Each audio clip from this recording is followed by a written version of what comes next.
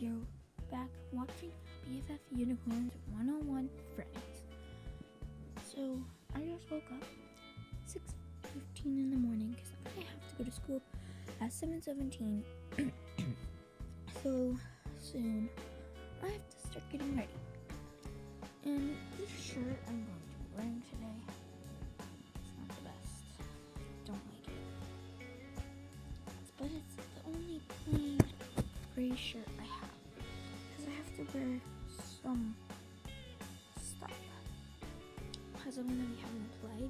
These little things at the bottom. And then she told us to wear black, gray, white. I'm not any of those colors. Um, but yeah, I just woke up. Um, I'm trying to get some this to wake me up. You know what it is, it's orange soda. So it's soda. I'm trying to see if it'll wake me up a little. Get my brush here.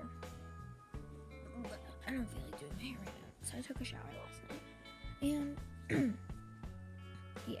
But um I was um thinking that I will do more. I know I I have to go to school. So that means I can't really make that much videos this week. On the weekends I will try to do challenge videos and videos for you guys because I want you guys to think that my channel is awesome and stuff and I want you to watch it more because